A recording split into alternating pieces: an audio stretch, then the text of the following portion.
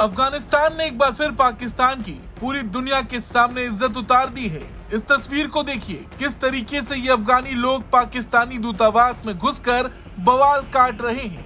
ये तस्वीरें जर्मनी की हैं, जहाँ पाकिस्तान के वाणिज्य दूतावास पर अफगानों ने हमला बोल दिया। जर्मनी के फ्रैंकफर्ट में अफगान नागरिकों ने पाकिस्तान के दूतावास में जमकर तोड़फोड़ की है।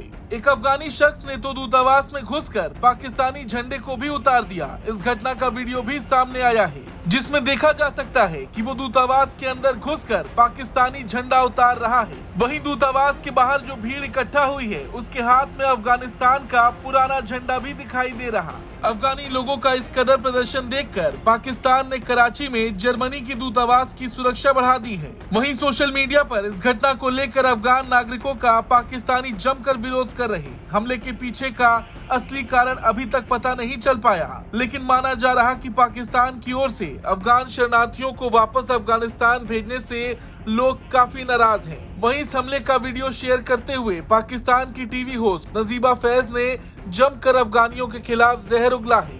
नजीबा ने लिखा है कि फ्रैंकफर्ट में पाकिस्तानी दूतावास पर हमला हुआ, जहाँ कई अफगानों ने वाणिज्य दूतावास में प्रवेश किया और पाकिस्तानी ध्वज को नीचे गिरा दिया। ये घटना अफगानों को खतरनाक, हिंसक, गैर जिम्मेदार और अज्ञानी के रूप में चित्रित करती है। इस तरह की कार्रवाइयों को जर्मनी की सुरक्षा के लिए खतरा माना जाता है और जर्मन सरकार इससे निपटने के लिए कड़े कदम उठा रही है। अब पुलिस की गिरफ्त में आने के बाद इन युवकों को पछतावा तो ज़रूर होगा, लेकिन इस पछतावे से उन्हें कोई फ़ायदा नहीं होने वाला। यदि इन कायरों में बहादुरी होती तो वो अफ़गानिस्तान से भागने के बजाय फिलिस्तीन के लोगों की तरह अपनी मातृभूमि के लिए लड़ते। लेकिन वो विदेशी दान पर जीने वाले रीढ़ विहीन मुफ़्त खोर हैं। इस पोस्ट से आपको पाकिस्तान की बौखलाहट का अंदाज़ा लग गया होगा। आतंकियों को पालने वाले पाकिस्तान पर जब खुद आँच आई तो देखिए किस तरह बौखलाहट सामने आ रही है।